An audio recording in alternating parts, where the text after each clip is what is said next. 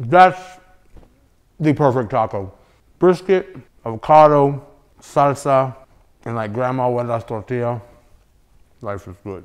There's nothing better. You know, a lot of, you know, Texas, we think of Texas and, and it's brisket and white bread, but not this Mexican right here. Brisket, tacos is where it's at. Hi, my name is Ernest Servantes. I am the pit master, the pit boss, and mero mero fricolero of the Burnt Bean Company.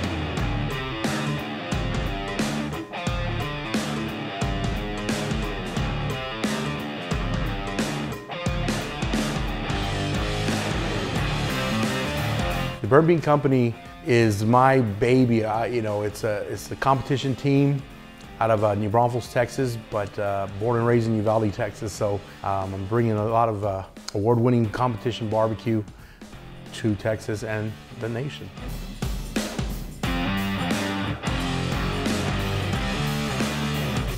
I look back on how I started this whole barbecue thing. I started off with an HEB barrel pit, 50 bucks, and, and a Weber I bought it at a garage sale for like $10.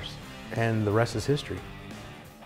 Everything I did in the barbecue world, I learned from trial and error. There was no barbecue classes as there is today, and there's no cheat scales. I wanted to know the purity of not only the sport of barbecue, but the purity of how to cook some of the worst cuts of meat and make it some of the best food you'll ever have. A lot of people don't realize that the, the effort and the long hours that you put to, to make such a great product, you can stay up all night. And it's taken me a long time, but you know, um, I don't regret it. You know, I've slowly moved on from an HEB barrel pit to a small trailer pit to a bigger pit and a bigger pit and then my, my fleet ship pit. And, and it's really cool to see myself grow. So me and my, uh, my homeboy, uh, Hondo Hernandez from California, you know, we were like, man, we should make this club, you know, this club about the elite of the elite, the brisket guys, you know, those metal medals, you know, so we came up with the brisket cartel. We have about 13 members all over the country, and these are the best of the best when it comes to brisket. This is what everybody wants to wear in the barbecue world. I don't want to sound arrogant, but you, you know what's up. This is what they want to have. They want to have the OG cap that says Brisket Cartel because they know that they get that respect. I always thought that the Mexicanos never got their foot in the sand when it came to barbecue. I think, you know, a lot of people are notarized for everything else. So when I had these opportunities, I wanted to be, not necessarily, there might have been other, you know, um, founding fathers when it came to barbecue Los Mexicanos, but to make it nationally known.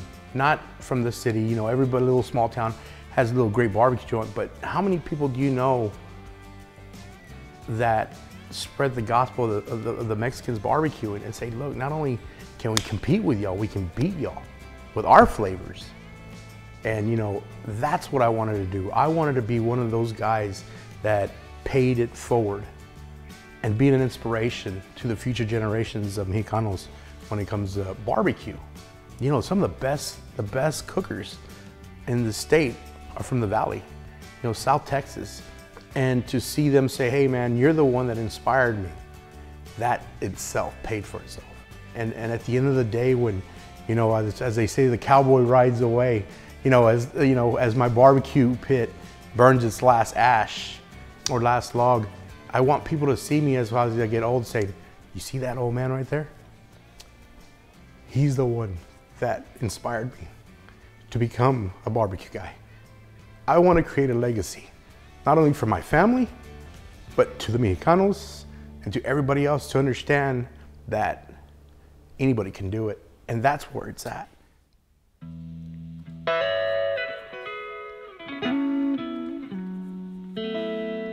Man, I'll tell you what, you know, tacos, tacos are life, man.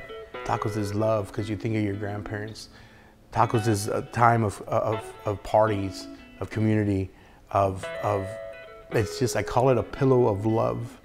It can be corn and it can be, you know, flour, and then you can get onto the other fancy ones. But in my opinion, a good taco starts off with a good foundation.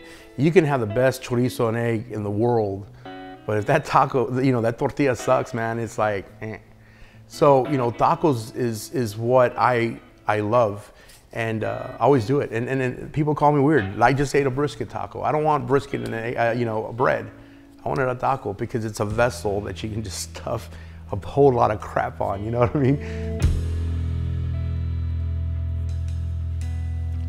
I see myself and I look back on where I started and where I'm, where I'm at right now. As the years gone on, I've gotten more sponsors and I've been so grateful. You know, people like Smithfield and Western Wood, uh, those are the people that, you know, they believe in me and there's nothing better. And I tell this so many people, I'm successful because of my family, because all the people who believed in me. And, and to see where I've gone and where I am now, and I literally look like a NASCAR trailer rolling down the road with all these corporate sponsors and this big old thing that says Burnt Bean Company and you see it and it's just such a presence. It's taken me, you know, close to 10 years to get to here, but you look at where I started and where I've gotten with all that hard work and now I have a rolling billboard of who I am and who I represent. I represent the Mexicanos and they see that mural it's like an East LA mural with all the Aztec warriors and, you know, the Day of the Dead Skulls and stuff. But I'm proud of my culture. And that's one thing I'm always never, I'm never ashamed of. I can be in New York or I can be in Midwest and I'll be rolling and they know who I am. I always say, work hard till you no longer have to introduce yourself.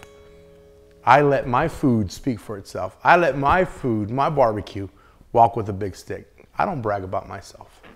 I let my food do it.